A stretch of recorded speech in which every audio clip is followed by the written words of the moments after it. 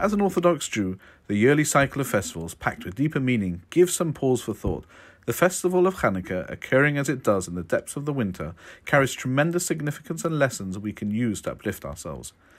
COVID 19 stories abound of the person who was able to speak to his or her family over the Zoom for the last time, thanks to the efforts of a hospital staff member of the nurse and doctor who sat with the patient holding their hand until the end. Small actions, all, but significant and touching to a degree we cannot imagine or describe.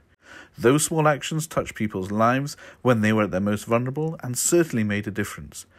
The small, flickering lights of the Hanukkah menorah declare with quiet conviction that a small amount of light pushes away a lot of darkness. A single flame in a dark room dispels even the darkest gloom.